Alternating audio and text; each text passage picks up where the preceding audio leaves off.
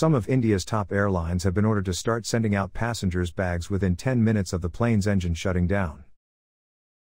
The Civil Aviation Ministry has said that passengers' luggage should be delivered to them within 10 to 30 minutes after landing. The airlines have until 26 February to comply with the order. Late baggage delivery has been a persistent problem across airports.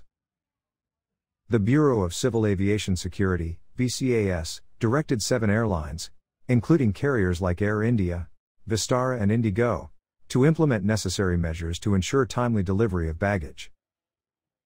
The directive comes after the Aviation Ministry monitored the time it took for luggage to be delivered to passengers at six major airports in India.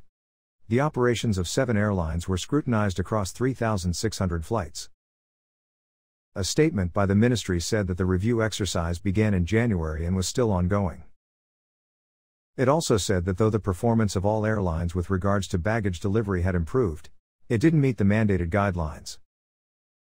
It added that according to the mandate, the first baggage should arrive at the baggage belt within 10 minutes of shutting off the aircraft engine and the last bag within 30 minutes of the same.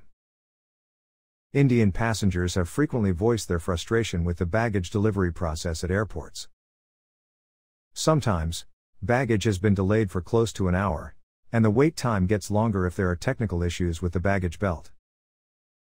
Over the past few months, the Aviation Ministry has been taking several steps to make air travel more seamless. Last week, it ordered the international airport in India's financial capital, Mumbai, to reduce flights to avoid congestion of air traffic and improve landing time.